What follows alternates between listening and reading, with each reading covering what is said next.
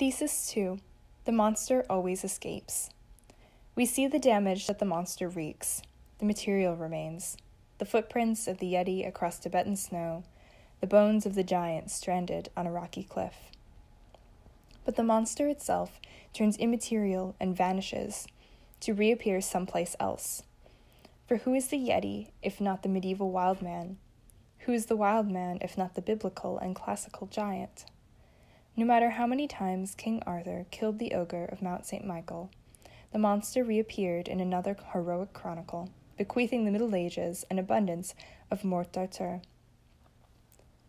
Regardless of how many times Sigourney Weaver's beleaguered Ripley utterly destroys the ambiguous alien that stalks her, its monstrous progeny return, ready to stalk again in another bigger than ever sequel.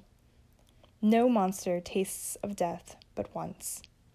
The anxiety that condenses like green vapor into the form of the vampire can be dispersed temporarily, but the revenant, by definition, returns. And so the monster's body is both corporal and incorporeal. Its threat is its propensity to shift.